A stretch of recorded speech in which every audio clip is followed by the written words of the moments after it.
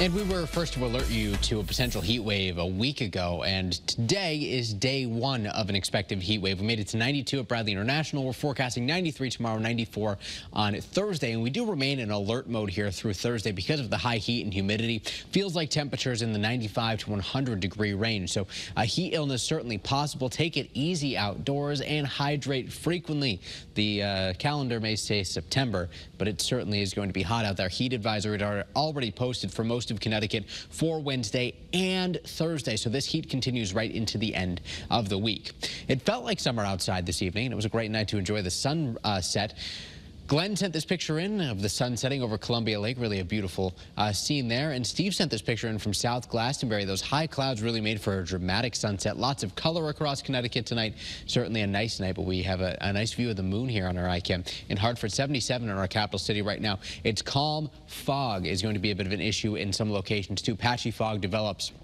And it's also just so humid outside. We have so much moisture in the atmosphere right now. Here's a live look in our iCam in Old Saybrook. Skies are mostly clear, uh, and there's the moon again. So uh, tonight, about 65 to 70 degrees away from the shoreline. Along the sound, temperatures will be in the lower 70s. And then we warm things up quickly tomorrow. In fact, we could be outpacing uh, today by tomorrow morning. 82 at 10 a.m., near 90 by lunchtime, topping out in the uh, 90 to 95 degree range away from the shoreline, upper 80s to near 90 along the shore. There's this area of low pressure off to the uh, east. We have high pressure building in from the west, and high pressure is really the dominant feature here over the next several days. On Thursday, we watched this front approach from the west. We are expecting a dry day locally Thursday, although there could just be a brief shower somewhere in far western Connecticut late Thursday evening if this front gets closer. But the trend has actually been for the front to be a bit slower on arrival. That will bring back the risk for showers and storms. Humidity remains borderline oppressive starting uh, tomorrow right through Thursday to Friday, Saturday into Sunday. A very muggy stretch here on tap for the next several days.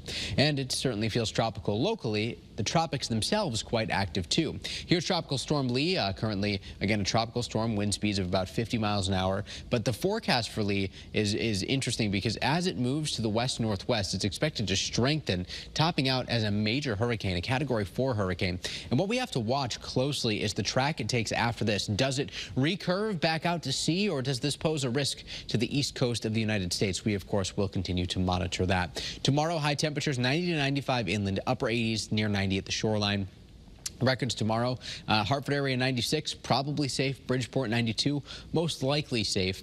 And then uh, for Thursday, 93 for the Hartford area. We expect that to fall. 91 in Bridgeport. That one will be close. It could be safe. Uh, depends on just how hot things get on Thursday. But it does look like our heat will peak Thursday. There's our first alert uh, icons here on Wednesday and Thursday. That's when we're through alert mode. Records possible. 94 inland Thursday, 89 at the shoreline. By Friday, isolated storms and any storms that fire on Saturday will will likely be isolated in nature too, perhaps a bit more scattered or widespread on Sunday with just a little bit of relief next week as temperatures settle back in the 70s.